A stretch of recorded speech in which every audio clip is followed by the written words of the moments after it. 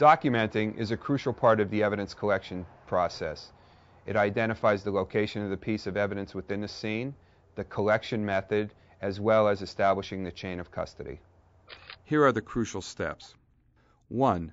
Photograph the evidence item or sample location before it is disturbed. Take both a wide angle and a close-up of the evidence item or location. As needed, take extreme close-ups of important areas on the item.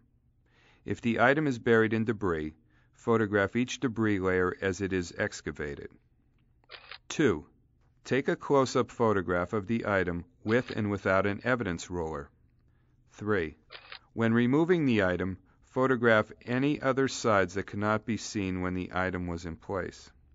4.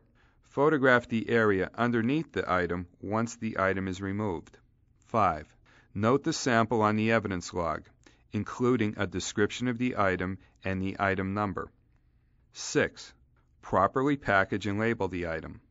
Include the location, date, case number, evidence number, and initials of who collected the item. Store the sample in a secure location for transport. Maintain the chain of custody during transport to the evidence room or laboratory.